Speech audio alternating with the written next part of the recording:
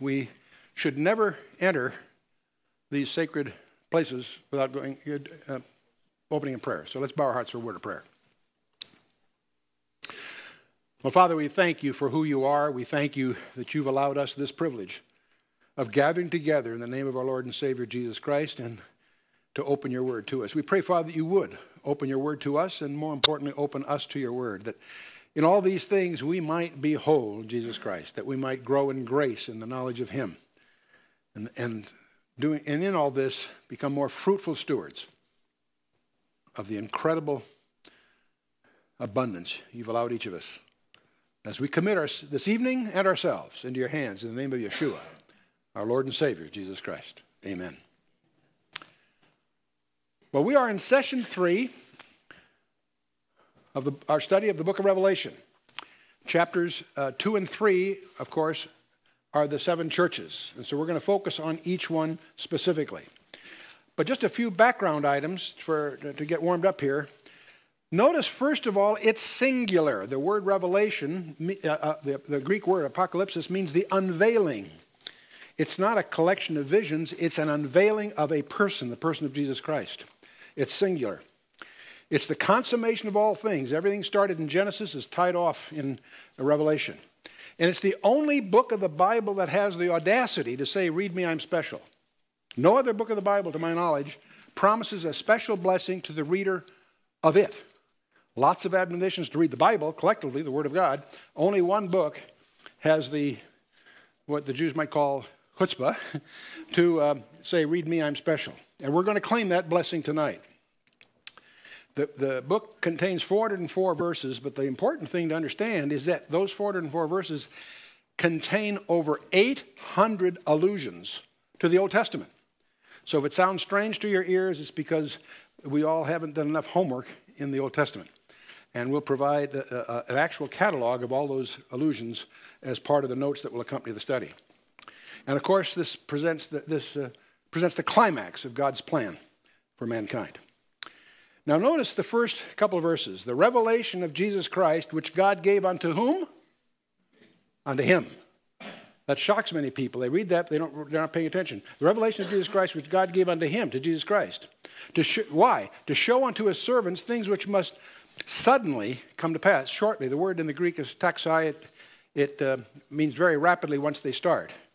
I think the closest English word is really suddenly. Once they start, they'll be quick. And he sent and signified it, signified it, rendered it into signs uh, by, uh, by his angel unto the servant John, who bear record of, the, of uh, the word of God and of the testimony of Jesus Christ and of all the things that he saw. You're going to, if you watch carefully as you go through the book, you see, John sees things, he hears things, he feels things, he falls on the ground. This is a very, very dynamic, uh, physically interactive experience that John is going to experience. Okay, he signified it, render it into signs. And verse 3 is, has the equivalent several places in the book. We'll just grab it here while we're here. It's a blessing that you and I are going to claim right now. Blessed is he that readeth, and they that hear the words of this prophecy and keep those things which are written therein, for the time is at hand. And then he goes on, of course, John to the seven churches which are in Asia. You'll understand the book itself is like a, a, a package that's being sent not to one church, to all seven. Each of the seven churches will have a part of it, but they'll also get the whole thing, if you will. John, to the seven churches which are in Asia. The word Asia, of course, is not the continent as we use the term, it's the proconsular Asia. It's, it's a province of the Roman government. It's the area that you and I think of today as Turkey. Grace be unto you and peace from him which is, which was, and which is to come, from the seven spirits which are before his throne, and from Jesus Christ, who is the faithful witness, the first begotten of the dead, and the prince of the kings of the earth, unto him that loved us and washed us from, from our sins in his own blood. Here we have a Trinity allusion from him which is, which was, and which is to come, which many of us would visualize as the Father, and from Jesus Christ, who is the faithful witness. And then we have between these two this interesting phrase, the seven spirits which are before his throne. Some scholars think that seven key angels that are going to show up later, but most of us, I think, see that as a sevenfold Holy Spirit as detailed in Isaiah chapter 11, first couple of verses. But in any case, this is just by way of review and warm up. The key thing that I want us all to be sensitive to as we go, that we're dealing with an integrated design. The New Testament is in the Old Testament concealed, and in this case, it's the other way around. The Old Testament is in the New Testament revealed. We're dealing with a single book. And our whole premise of our approach to this book is the recognition that every detail is there deliberately. That's true of the whole Bible, but it's especially true book of Revelation. Every subtlety, every detail, even the structure will tell us things that are uh, below the surface, and we'll try to highlight some of those as we go. Now, in chapter 1, we had an introduction, then the salutation occasion. Then the main core of chapter 1 is a vision of the risen Christ that we went through last time. But just to go through it quickly, I was in the Spirit on the Lord's Day. That is not Sunday. Many people assume it's Sunday, it's the day of the Lord. It's a very common phrase in the Old Testament, and uh, Joel and others talk about. I was in the Spirit on the day of the Lord and heard behind me a great voice as of a trumpet. What kind of a trumpet is important, but we'll talk about that when we get to chapter 8 and following. Saying, I am Alpha and Omega, the first and the last. And what thou seest, write in the book, and send it to the seven churches which are in Asia, to Ephesus, unto Smyrna, and to uh, Pergamos, and unto Thyatira, and to Sardis, and unto Philadelphia, and unto Laodicea. Seven churches. Now, one of the questions that should lurk in your consciousness as we go through all of this why these seven? 63 years since Pentecost and the giving of the Holy Spirit. There are now over 100 churches around. And many of those were in proconsular Asia, not just these seven. Why not Rome, Jerusalem, Antioch, Colossae, Philippi, Galatia, Iconium, Lystra, Derbe, Miletus, and uh, so on and so forth? You yourself uh, familiar with the New Testament, can list a whole bunch of churches, many of which you would think are far more prominent than these seven. Why were these seven chosen? Don't answer now. Keep, that, keep your options open as we go forward. I think you'll be startled to realize how uniquely these churches fit a, some very complex models. John says, I turned to see the voice that spake with me, and being turned, I saw seven golden lampstands. Now, lampstands are light bearers, not the source of light. And will, before the chapter's over, they'll be explained what they actually are. And the midst of the seven lampstands, one like the Son of Man, clothed with a garment down to the foot and girt about the, the chest with a breastplate, in effect. Now, uh, we have a physical description of Christ here in heaven. And there's, there's much to it. There's a whole section that uh, well, I'll just summarize in a minute. But he had in his right hand seven stars, and out of his mouth went a sharp two edged sword, and his countenance was as the sun shineth in his strength. The sharp two edged sword, you see some artists try to literally render that, render that in a painting, and it's of course grotesque. The term is an idiom for what? What's the sharp two edged sword, anyone? The Word of God, exactly. Three or four times in the New Testament, it's exactly what it is called. And his countenance was as the sun shineth in his strength, and that all should echo Matthew 17, the transfiguration. But anyway, John says, When I saw him, I fell at his feet as dead, and he laid his right hand upon me, saying to me, Fear not, I am the first and the last. And last time we went through the seven occasions where that phrase is used of Jesus Christ in the Old and New Testament. And uh, so we won't go through, but each one of these things, I encourage you to have a concordance at your side. And every one of these phrases that strikes your ear strange, get a concordance, find out where else they, where else they appear, and it'll all uh, the fog will lift. But the vision of chapter 1 had seven features. His hair on his head was white, it was taken from Daniel 7, verse 9, in effect. His eyes as a flame of fire. That's, bear in mind, it's a simile. Uh, we talked about that. Uh, his feet, which is a symbol of the walk. The brass of judgment. We talked about the brazen serpent and all of that last time. He had a voice of many waters. Uh, how do you argue with Niagara Falls? I mean, it's not a whisper. It's not the little, still, small voice that Elijah heard. No, this is something far more, uh, uh, much stronger.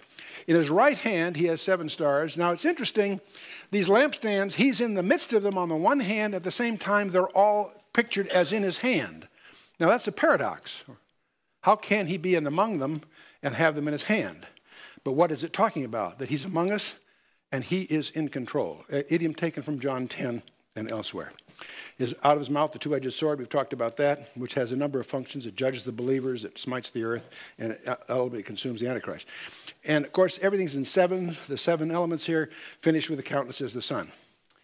But then we get to verse 19. The reason I'm going through this review of chapter 1 because it's important to have this perspective before we jump in to this the most important section of the book of Revelation, which is chapters 2 and 3. And I'll show you why. Revelation provides its own outline. And uh, in verse 19, John is told to write the things which thou hast seen, the things which are, and the things which shall be hereafter. A little short verse but the things which thou hast seen, when you get to verse 19, what has he seen? The vision of Christ in chapter 1. It's now behind us. So that's the things that he has seen. Write the things which are, present tense. That's the seven churches that emerge in chapters 2 and 3. And then the thing, which, that which follows after the churches in chapters 4 through 22. The word hereafter in the English is actually a translation of the Greek metatauta. And chapter 4, verse 1 is that key is that signal word, metatauta, and goes on. So we'll, we'll show you why we hold the view. And by the way, something else let me underscore. We're not here to uh, try to indulge in controversies. That we, we're really here to teach, to encourage you to do your own study. We will share what we believe and why we believe it. We'll try to highlight the alternative views when we, as we go. But uh, we're not here to sell a particular view as much as we will put it out candidly to help you with your study. But we're assuming that you will use Acts 17:11 as your guide. That's where Luke tells you, don't believe anything Chuck Missler tells you, but search it out for yourself. Speaking of the Bereans, they were more noble than those in Thessalonica in that they received the word of God with all openness of mind, but they searched the scriptures daily to prove whether those things be so. But uh, so on. There are many good scholars that will not agree with some of the views that we're going to present. And I just want you to be aware of that, and you should um, resolve it with your own study. But it's chapters two and three that we feel are the key to the book. The reason is that's the part that we are involved in. We believe that we, we, we will be in heaven from chapter 4, verse 1 onward. And we'll, it's a very strange view, not held by everyone, but we'll show you why we hold that view as we go. So the last verse of the chapter is really just a prep for verse chapters 2 and 3. Um, John writes, The mystery of the seven stars which thou sawest in my right hand, and the seven golden lamps, lampstands, the seven stars are the angels of the seven churches, and the seven lampstands which thou sawest are the seven churches. And by the way, one thing you'll notice if you peek ahead, the lampstands are on the earth in chapter 1, they are in heaven in chapter 4. I'm not building a case on that. There's more, more convincing issues, but I mentioned that in passing. So we are now going to explore the seven churches, the things which are. And one of the questions is why these seven? Keep, keep that open and, and, and jot your notes as we go forward. One of the things you'll discover is each letter has a closing phrase. It has, a, it has a, a, title of the church, it has a title that Jesus chooses of himself, he takes one of the identities from chapter 1 to, reflect, to refer to himself. It's a different one for each church, for it's all consistent with the theme of the church. Then it's like a report card, and I'll show you that in a minute, but it, each one closes with this strange phrase He that hath an ear, let him hear what the Spirit says to the churches. Well, this has this, these four letters, these uh, seven letters have four levels of application. The first one's pretty obvious. They were real local churches at the time. And they've been investigated thoroughly by the experts. Sir William Ramsay uh, uh, established quite clearly their existence and the fact that they had problems at this time that these letters seem to address head on. So they have a very valid local application. And you could say, gee, that's it, that's enough. No, there's more to that. You notice that the Holy Spirit says, He that hath an ear, let him hear what the Spirit says to the churches, plural. In other words, every church was to pay attention to what was said to each of the seven. So it's an admonitory uh, application to each church. Every church that you can find on the planet Earth will have elements of all seven in it, some more than others. Once you understand the seven letters, each one has a theme, each one faced certain problems, each one had certain recommendations. All of them apply to all churches to varying degrees. And that's if you understand those seven, you can map any church you run into as how much it has two, two, teaspoons, two teaspoons of this one and four tablespoons of that one or whatever. You follow me? Okay. So it, that makes sense. But there's a third level. It is homiletic, personal. How many of you have an earlobe? Can I see a show of hands? Okay, it says, He that hath an ear, that's you. Let him hear, him, him or her, uh, hear what the Spirit says to the churches. So there is a sense, very clear sense, in which each of these seven letters apply to us personally, independent of what church you might be attending. Are we together so far? Now, so far we're on sound ground. Very few people will have much quarrel with that. But fasten your seatbelts. There's a fourth level that's prophetic.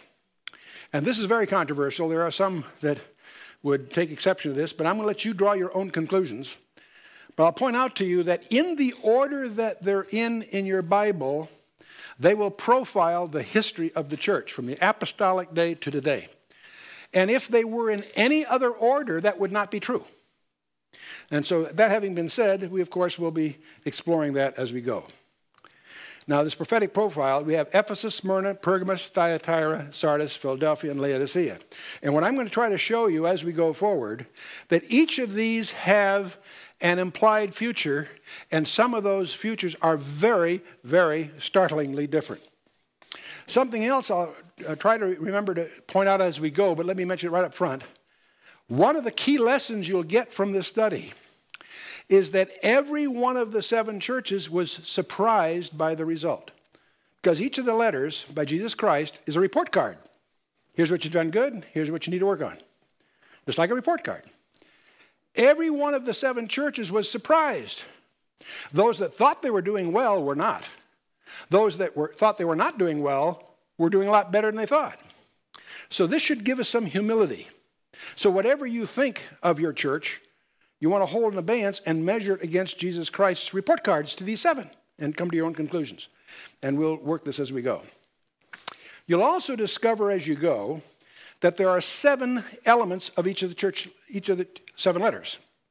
If you can, if you can visualize a spreadsheet with seven rows and seven columns, make each column a church, you'll have seven rows. The name of the church, the title of Christ, his commendations, his concerns, his uh, exhortations. Well, I'll go through this. Uh, first of all, the name of the church, you'll discover that the name of the church is very relevant to the main theme of the church. Jesus Christ chooses a title to refer to himself that's selected from one of the titles uh, drawn from chapter 1. But each one's different because each one has a slightly different emphasis. Then he has a commendation. Here's what you did well. Here's your A's. Got an A in this and an A in this, a B in this, not bad. But then he has his concerns. Whoops. You get to this word, nevertheless, and you hold your breath. Then, of course, he has an exhortation, gives him some specific advice.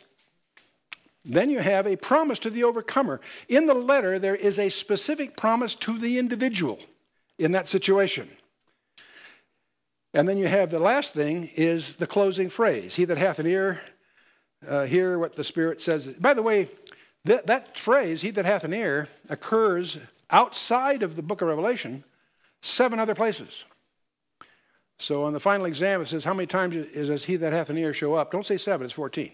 Seven in Revelation, seven elsewhere. But that's a hint. Let's go on here. So you could make a spreadsheet of these seven churches, Ephesus through Laodicea, and you, you can take each name and what it means, the title it's used, take the commendation, the concerns, the exhortation, the promise to the overcomer, and then this last phrase. And what I encourage you to do in your private study is to take a large sheet of paper that can be laid out horizontally and paste in the text in all the squares to give you the spreadsheet. I could hand one out, but I'd rather just do it yourself because it'll be, it's, a, it's a worthwhile exercise for yourself, for your own notebook. Uh, what I'd like to do at this point, let's take your Bibles and let's read together.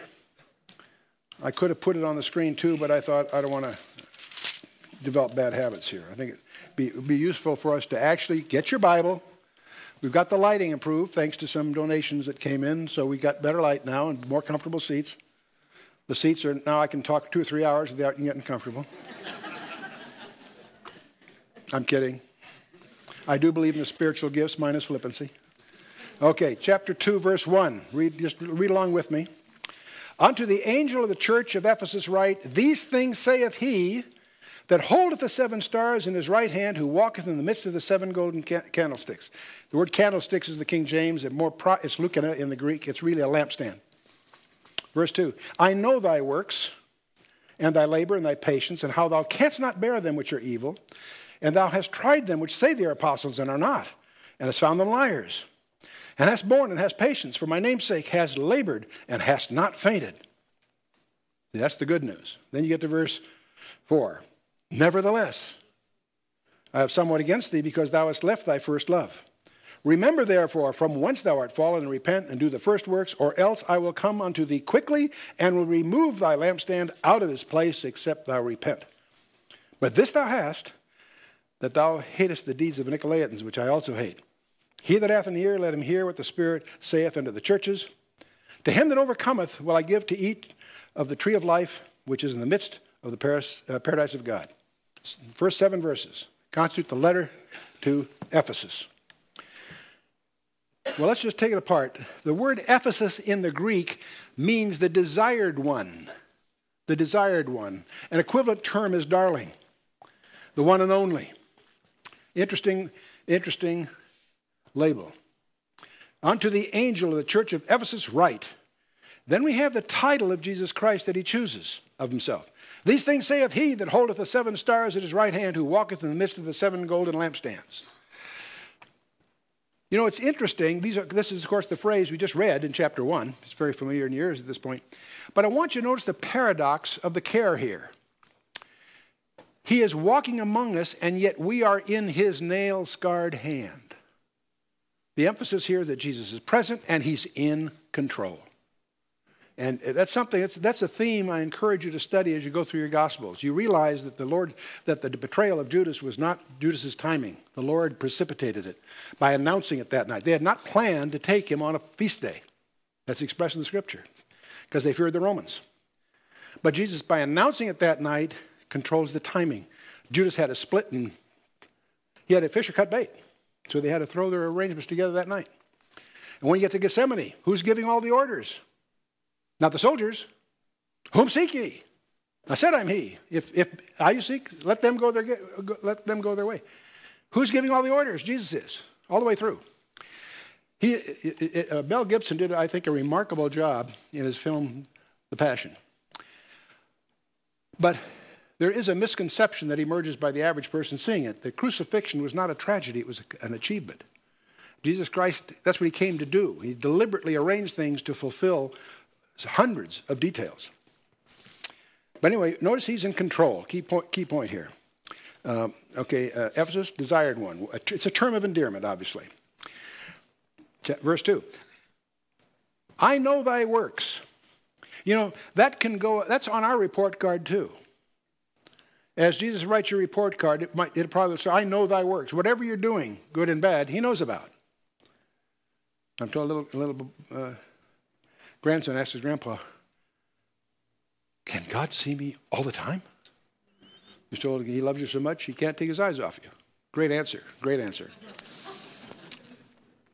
I know thy works, and thy labor, and thy patience, and how thou canst not bear them which are evil, and thou hast tried them which say they are apostles and are not, and hast found them liars. In other words, they did a good job at digging out heresy about clinging to sound doctrine. They apparently did that in a very good way. And hast borne and has patience for my name's sake, and has labored and has not fainted. Now, without counting, how many commendations do you think they got? Seven. Good for you. Good guess. If you go through and count them, there's seven. I think it's impossible for you to make a list of all the sevens in the book of Revelation. You can get up to 100 and get tired by then because many of them are so subtle, it really takes some digging, but they're everywhere. And we'll, we'll highlight a few as we go. Everybody knows about the seven seals, the seven trumpets, seven bowls. Hey, that's just, that's just for starters. Testing doctrines. You know, Paul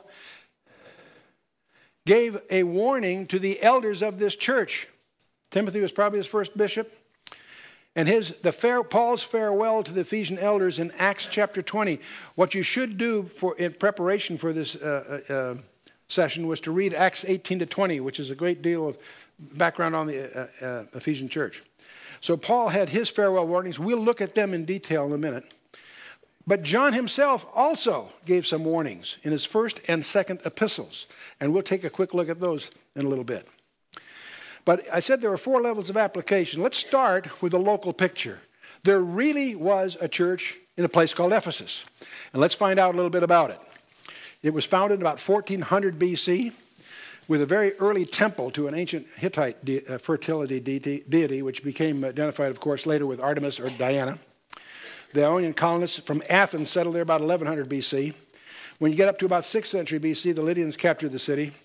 And then Croesus, their king, was routed by the Persians, and Ephesus was joined to the other cities in the Ionian Confederation. It was about this time that we see a Diana or Artemis surface in their cultural uh, traditions.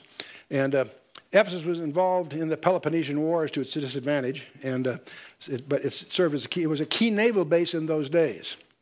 Uh, it has problems later.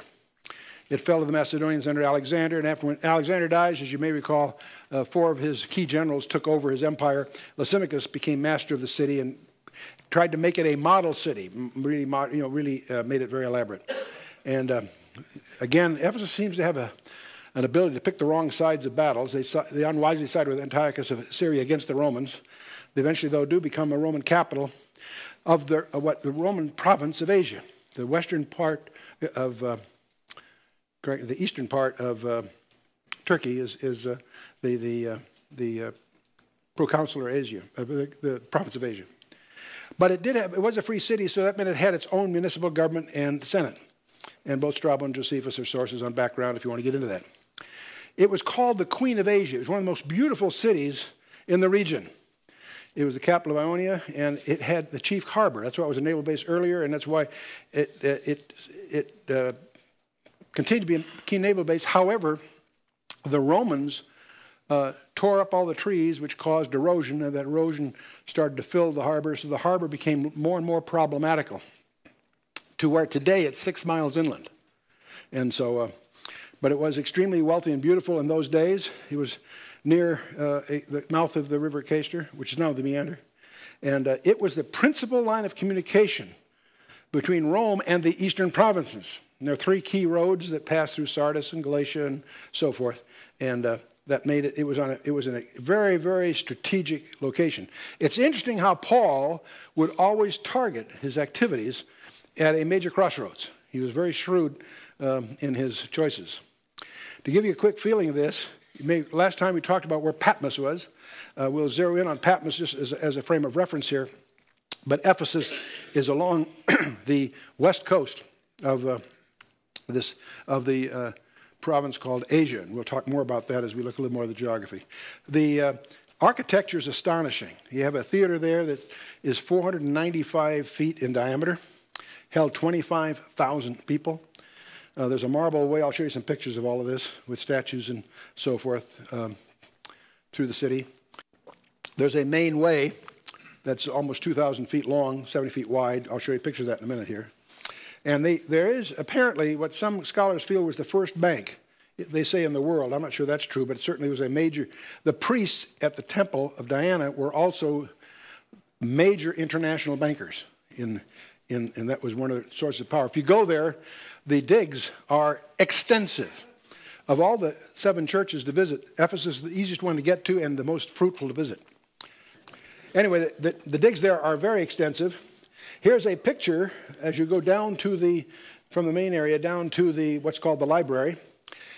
The, that's just the facade there. The library had 200,000 volumes, and that was before printing. Think about it.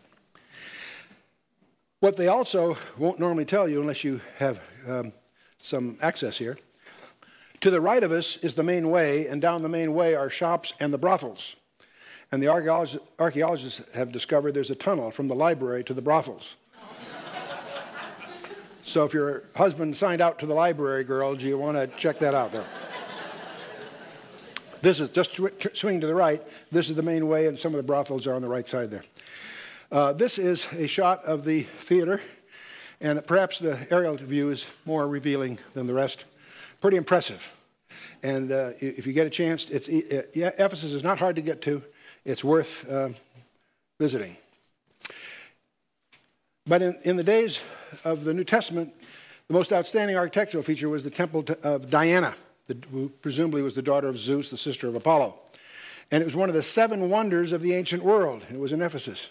Four times as large as the Parthenon at Athens. This thing's huge. It stood on a platform of 425 feet by 220. The building itself was 340 by 165 with 127 ionic columns, each 60 feet high. This was, uh, by anyone's standards, an impressive piece of architecture. And, but it's very much involved with very ecstatic uh, sexual rites that we are not in a position to discuss in a mixed audience. It was the largest city of its day. The harbor gradually became unusable, and the traffic was diverted to Smyrna, which is today the city of Izmir. And, uh, but Ephesus was also the study center for arts and magic. And uh, they had all kinds of occultic stuff that was, of course, burned in Acts 19 19, you may recall. Paul's first uh, visit was brief and was directed towards the Jewish community. He later made a second visit and was driven from the synagogue, but he settled in the school of Tyrannus for two years until the uproar of 58 AD. And that's all in Acts 19 and 20. And of course, Ephesus later became the center for missionary operations throughout Asia. There were imitators that followed, but without power. You may, you may uh, remember the seven sons of Sceva and all that business. Timothy may have become Ephesus' first bishop. And it's here that we find Aquila, Priscilla, Apollos, all these familiar stories from the book of Acts. And uh, now, according to Eusebius and some others, uh, John returned there after he finished in Patmos. He was in Patmos for about 10 years. But uh, when uh, Domitian dies, John is released. And he's, uh, the records are that he returned to Ephesus and, and uh, set things, uh, busied himself setting things in order, but he, fin- he finished his closing years there. His gospel was apparently written there from Ephesus in those cl- closing years. Timothy, John, and Mary's tombs are in Ephesus. After Paul left Ephesus, he journeyed through Macedonia, returned to Miletus, which is near Ephesus. I'll show you that on the map, for his famous farewell to the Ephesian elders. First Corinthians, Paul's epistle to the Corinthians was penned during his second visit, and his epistle to Ephesus written when Paul is later in Rome, four years later after he leaves. Now, uh, the bishop of Ephesus was accorded rank and authority of patriarch over the churches of the whole province of Asia. In 431 AD, we're now showing you a little history after the New Testament period. Um, Emperor Theodosius II called a general church council at Ephesus because there was a hot debate at the time as to whether the Virgin Mary should be described as the Mother of God. And 200 bishops at this Third Ecumenical Council decided in the affirmative, but that's widely misunderstood. Um, the, um, the, the, the, Emperor of the East, Theodosius II, and the Valentinian of the West both convened this uh, uh, council because of a heresy known as Nestorianism. And Nestorius, who's a patriarch of Constantinople, that is in the east, he refused to accord the title Mother of God to Mary, the mother of Jesus Christ. But the whole point was the proponents of emphasized the separateness of the human and divine in Christ, claiming in effect that he was two persons, one divine and the other human. And accordingly, Mary was considered the mother of man Jesus, not of the divine Jesus. That was the Nestorian's view. But this was opposed uh, uh, to the uh, accepted doctrine that Christ was a single person at, one, at, the, at once, both God and man. And under the leadership of St. Cyril, the Patriarch of Alexandria, the council deposed Nestorius and condemned his doctrine. It declared that Jesus Christ is the true God and true man, and that he has two natures, human and divine, joined in one person. So, see, on that basis, they're on sound ground. What derives from that, a logical extension of that view, then, the council approved the title uh, Theotokos for Mary, which means God bearer. Not the mother of God, but the God bearer. In other words, they're saying Christ was both God and man, and she certainly was his mother, so she was the God bearer. That gets twisted later to be into the title Mother of God, which of course carries a, a much different connotation. And so that this is often misunderstood when you look at what really happened in the council, you can't find fault with what they ruled. But the way it's applied is, or twisted later, is something else again. Anyway, The chief rival of Ephesus was Miletus, but its, its harbor also is a subject of erosion for a while. But uh, even in the first century, Paul landed at Miletus after one of its many dredgings. I'll show you that on a map here in a minute. And it gets destroyed by the Goths uh, in 262. Never, never retains its earlier glory. It, Jesus' letter, the letter we're reading in the book of Revelation, was, is about 35 years after Paul's departure. Now, we want to understand Paul's departure, uh, the, his, his uh, famous, touching uh, farewell address to the elders at Ephesus. Let's pick it up in Acts 20, verse 16. For Paul had determined to sail by Ephesus because he would not spend the time in Asia, for he hasted, if it were possible for him, to be at Jerusalem the day of Pentecost. In other words, the feast of uh, uh, Shavuot. He's trying to get to there. This was one of the three feasts in the Jewish year that was obligatory for an able bodied Jew to be in Jerusalem, and he's trying to make that commitment. So he doesn't go to Ephesus, he goes, he goes to Miletus. And from Miletus, when he lands in Miletus, he sends word to Ephesus and he has the elders come to see him. And if you see, there's Ephesus and there's Miletus. And so the elders have to travel quite a ways. Um, I'm guessing that would be probably uh, more than 20 miles uh, to meet with Paul. Uh, some scholars believe he, Paul did this uh, for two reasons. One is that the harbor was still more useful in Miletus. Ephesus was starting to have uh, uh, erosion problems, silt and so forth. So is Miletus for that matter. But also, they believe that Paul was trying to avoid the crowds. He wanted to deal with just the elders. And so the elders come to Miletus, and that's where Paul uh, has his touching farewell. He says, When they were come to him, he said to them, Ye know from the first day that I came into Asia, after what manner I have been with you at all seasons, serving the Lord with all humility of mind, and with many tears and temptations, which befell me by the lying in wait of the Jews, and how I kept back nothing that was profitable unto you, but have showed you and have taught you publicly and from house to house. Interesting phrase, by the way house to house. It's interesting to realize that all the fellowships in the book of Acts were in homes, even Acts 2. Churches, as we think of them, weren't invented until the third, fourth century. House to house. Home fellowships, that was the original form of fellowship. The uh, Home fellowships were ostracized by the medieval church, of course.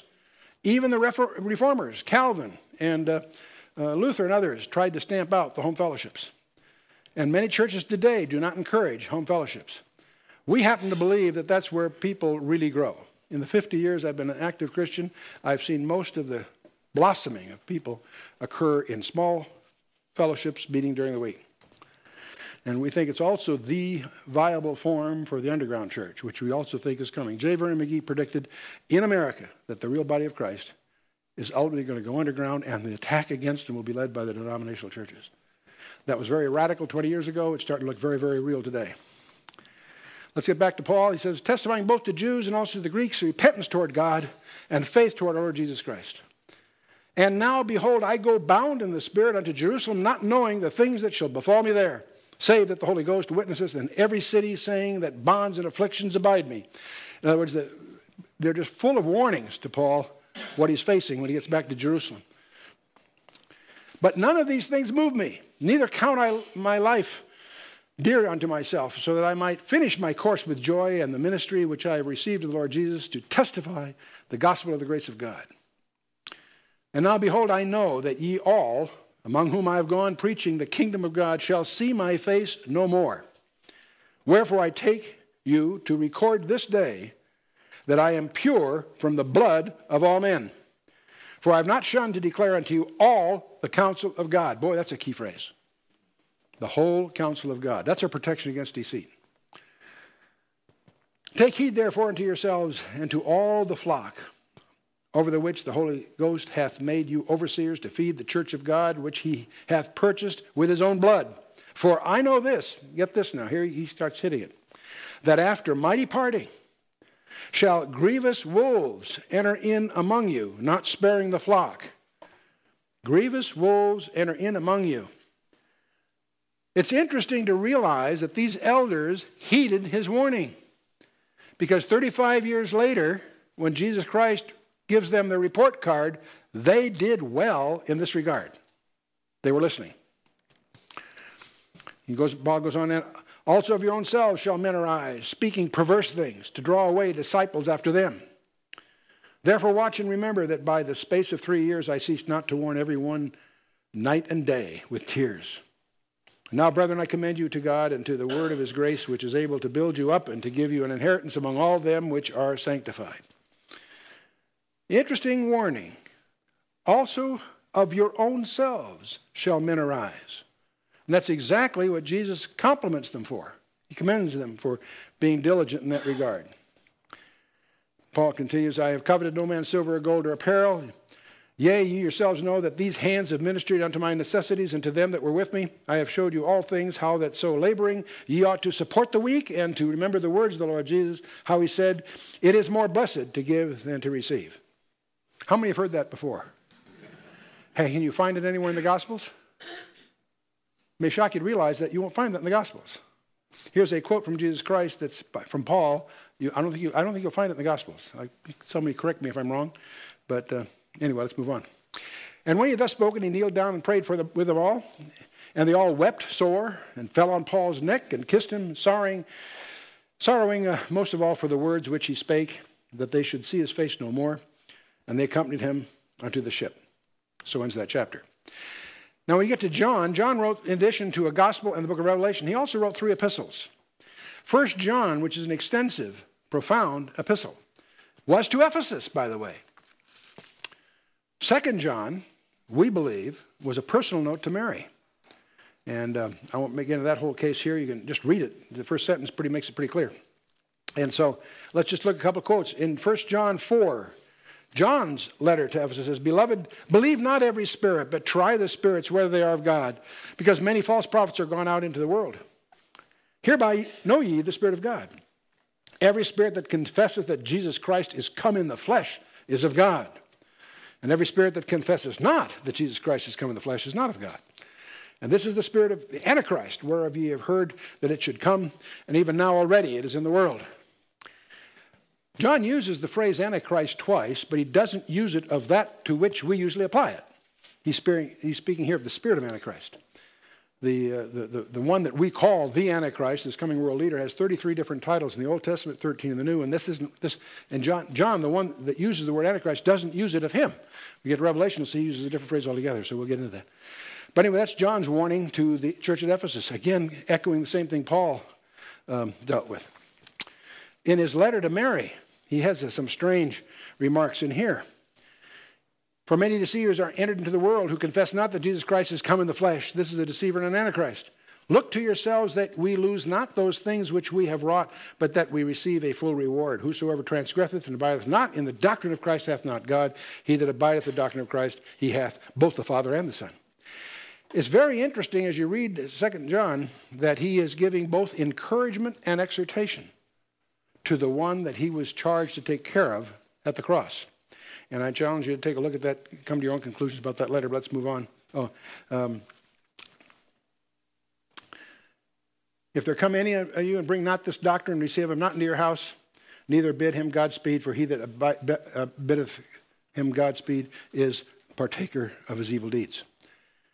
He's warning Mary not to take a false teacher under her roof. Why? We're admonished to show hospitality. Why could she not do that? Because for her to do it would be sanctioning their doctrine. See the difference? Many people try to apply this, and generally I think it applies to her. But let's move on. Let's get back to the letter. We had the good news. Jesus commends the, the church at Ephesus for their uh, trying those that say they're apostles or not and found them liars, right?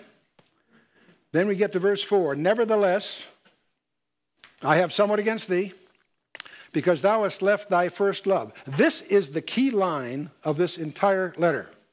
Because thou hast left thy first love. The word first is protos.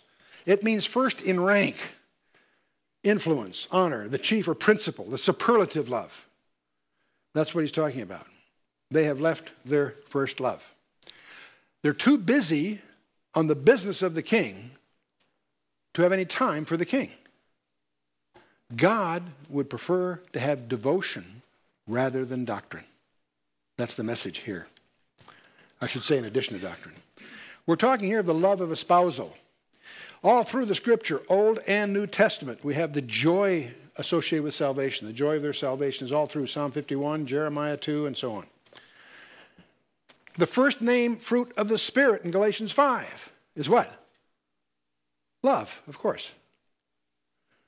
It goes deeper than just these admonitions. God uses the marriage to communicate his most intimate truths.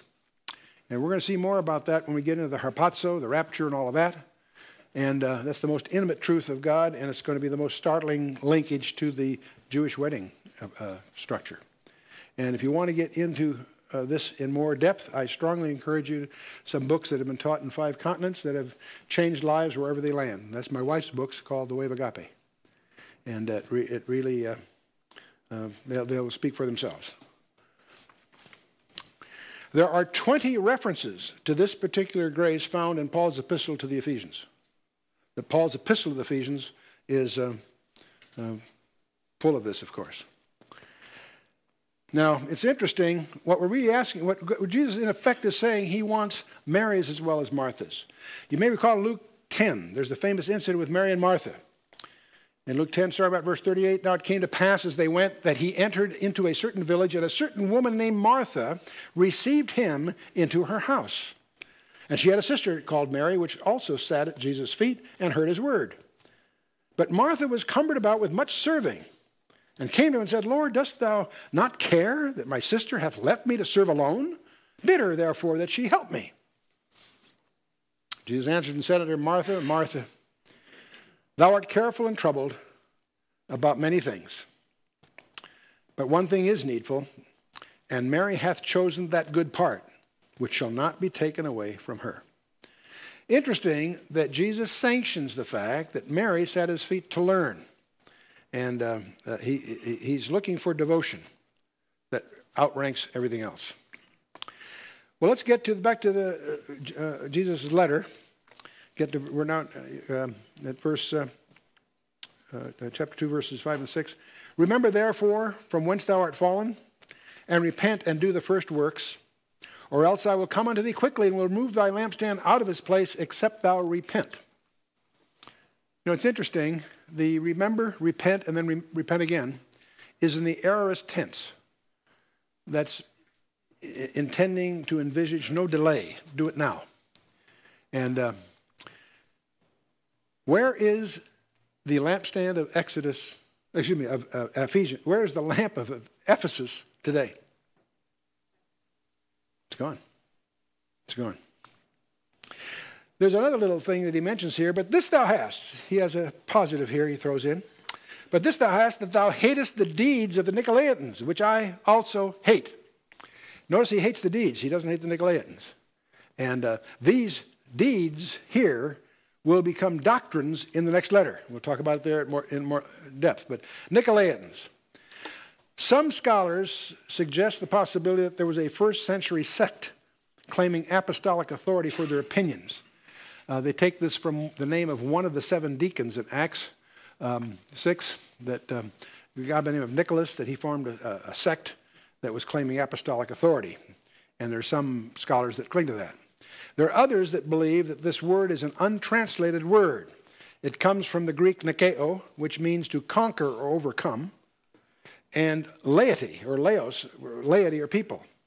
That this, this the, the deeds here that was offending Christ is a tendency for the clergy to rule over the laity, creating hierarchies. And uh, Jesus gave us an organization chart the way he saw the church. And he did that in John 13. Remember, he washed their feet? You all know the story. When he did, he says, Then if I, then, your Lord and Master, have washed your feet, ye also ought to wash one another's feet. For I have given you an example that ye should do as I have done to you. Verily, verily, I say unto you, the servant is not greater than his Lord, neither he that is sent greater than he that sent him. So if Jesus was that humble, that gives us the pattern we should follow. And this whole idea of the clergy over the laity is something that apparently offends Jesus Christ. Well, okay, we talked about uh, local. Now let's talk about to, how can this apply to all churches? Well, see, Jesus is acknowledging they did well in having doctrinal purity, He has an abhorrence for heresy, of course, but the key thing that they were lacking was devotion to their king. They had left their first love or primary love. Too, business on the business, too busy on the business of a king to, rather than for the king himself. Paul's epistle to the Ephesians deals with this whole issue. It was written from Rome four years after his farewell. And the epistle of Ephesians is very similar to the epistle of Colossians. They're both written about the same time. But Colossians very much has to do with um, uh, theosophy. But Ephesians is simply a letter expressing Paul's love to the church there. And he has this intense desire that they be fully instructed in the profound doctrines of the gospel. So his letter, the Ephesians, would be an appropriate appendix to all of this. I encourage you to, uh, it's a little, you know, four chapter book. Read it in, in concert with this letter. That brings us to the personal application of this letter. You ever study the difference between David and Solomon? David pervades the scripture. Solomon is mentioned only with adverse comments.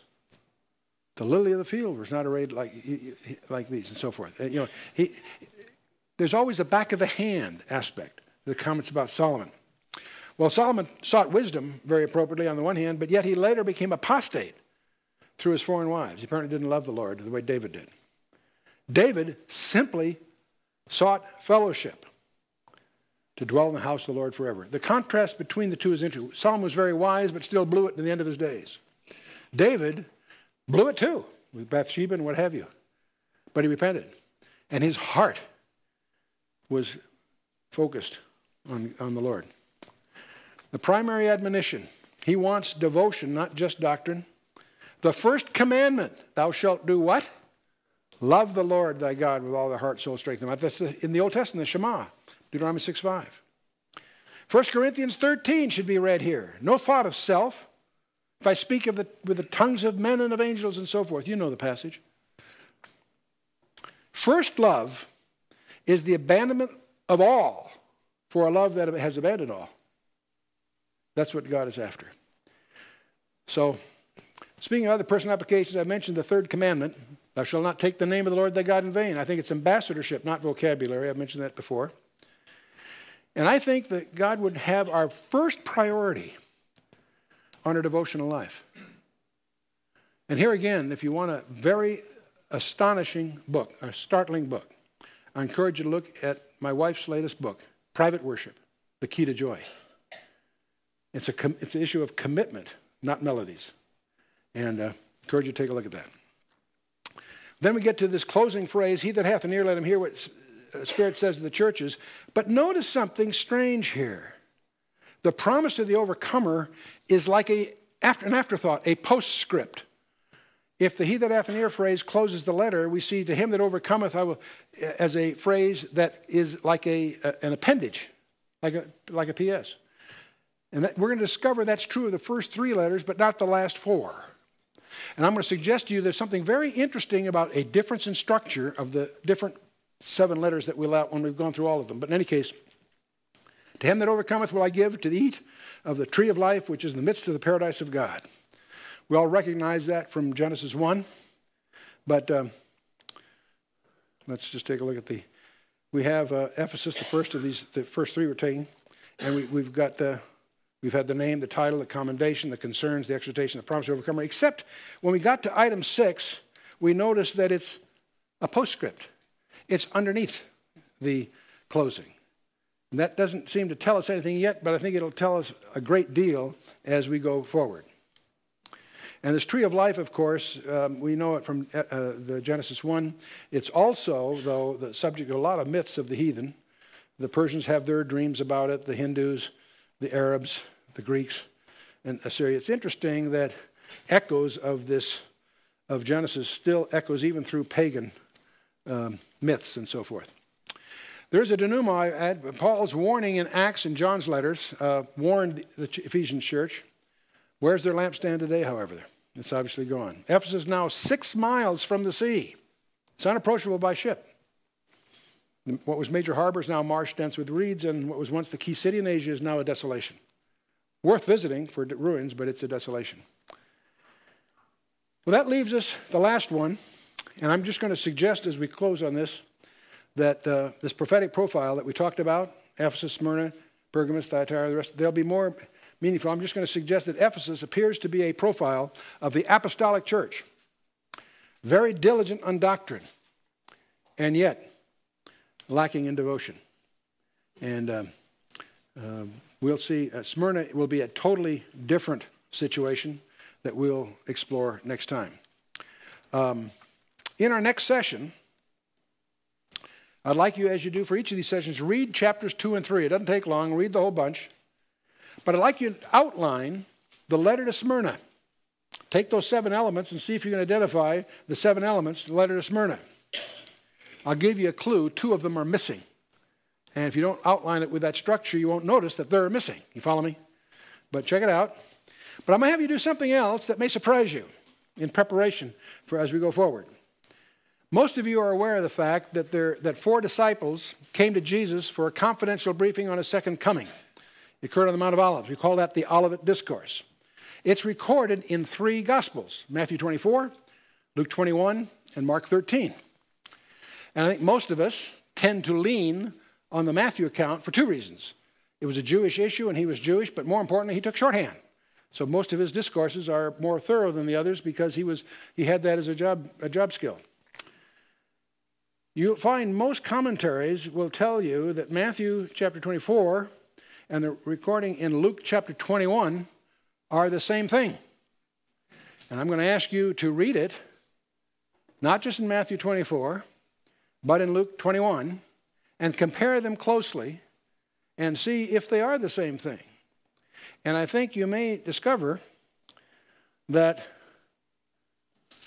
they're not. They are different and they're different in some non trivial ways. Now, rather than leave that just hanging, I got a few minutes here, let me just throw it in here. The, the, in, in Matthew 24, verses 4 through 10, it mentions false Christs, wars, famines, death, martyrs, and global chaos. Luke does the same thing in, in chapter 21, 4 through uh, the end of the chapter.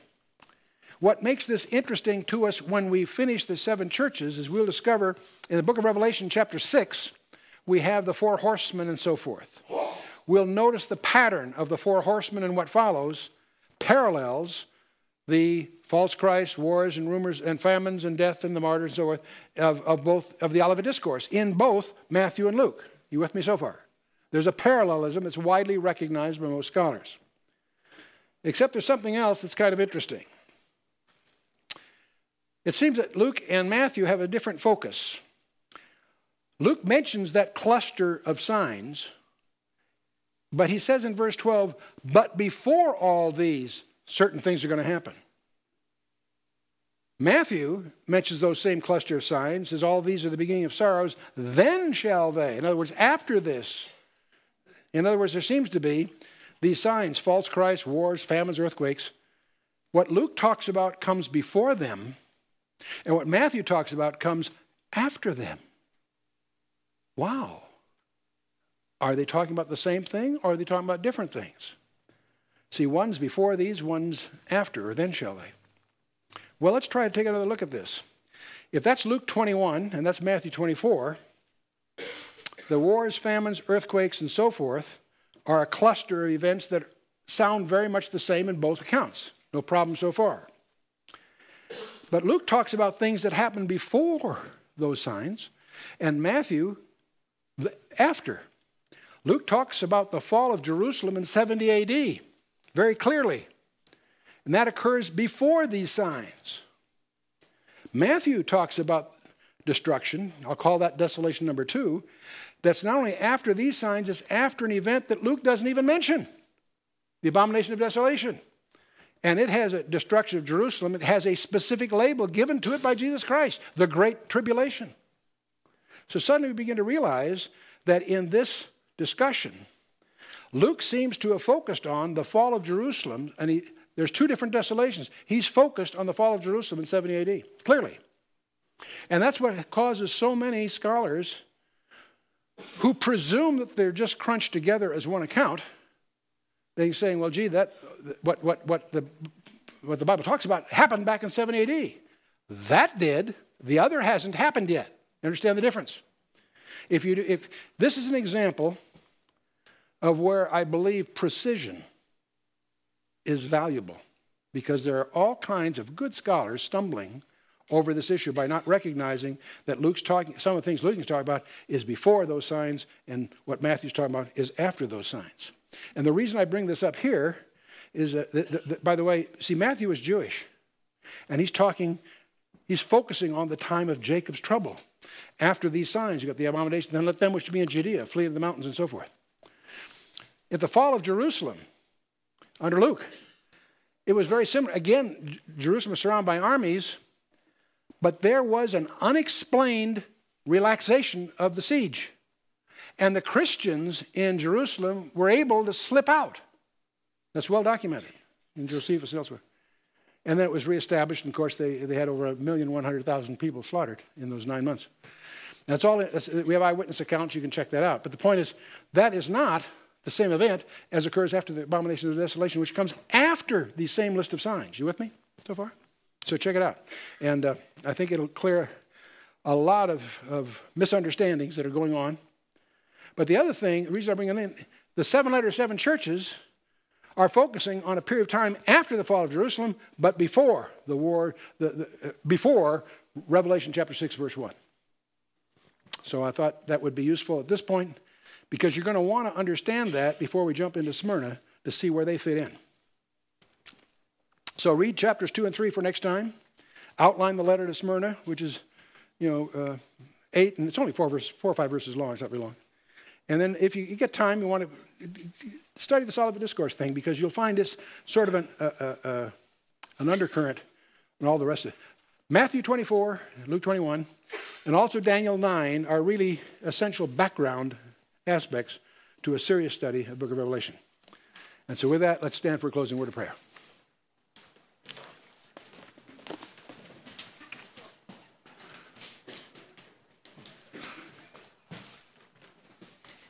Let's bow our hearts. Father, oh, Father, we do thank you for your word. We thank you that word became flesh and dwelt among us. Father, we also ask you to help us to keep the great commandment. Help us to love you with all our heart, soul, strength, and mind. Help us, Father, to put you ahead of everything else. As we look at our national horizon, as we look at our personal horizon, we overwhelmed as we realize how far we've fallen. As we just begin to get a glimpse of the extremes that you've gone to, that we might have life and life eternal. Oh, Father, how that should eclipse everything else on our list of priorities. As we recognize, Father, the clouds on the horizon that are coming. We do pray, Father, that you would illuminate for each of us specifically what you would have of each of us in the days that remain. Not only that we might grow in grace and the knowledge of our Lord and Savior, but that we might be more fruitful stewards of the opportunities that you put before us. Oh, Father, that we might just love you more we just commit ourselves this night without any reservations whatsoever into your hands to do with us as you will. As we commit ourselves into your hands in the name of Yeshua, our Lord and Savior, Jesus Christ. Amen.